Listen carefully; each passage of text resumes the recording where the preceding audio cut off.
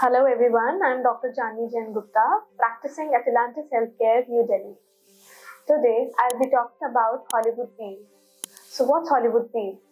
The instant celebrity glow that you see on any celebrity. The patented technology of Hollywood peel. It's a device, mainly a Q-switch Nd:YAG laser, which is done to improve the texture and the glow of the skin.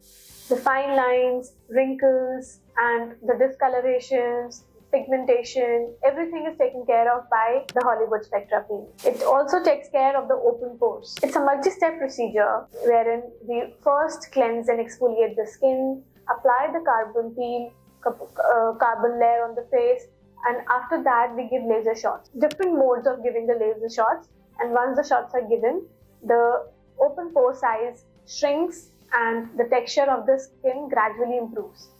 If you ask me how many sessions are required, I would say multiple sessions because it's not, it's a myth that patients consider that just one session would be enough.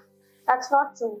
You need at least five to six sessions to show any effect. You get the instant glow with one session as well, but to reduce the size of the pores, the acne spots, you need at least 5 to 6 sessions. Now, who should not do Hollywood Spectra? This procedure is extremely safe and gentle for your skin, but Patients who are pregnant, who have an active sunburn, active rash, any viral infection, anybody who's on isotretinoin should not go for this.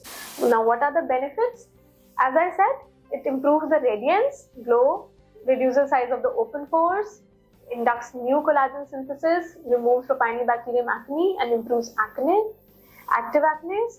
This uh, peel works wonders. I hope this video is useful to you. Thank you.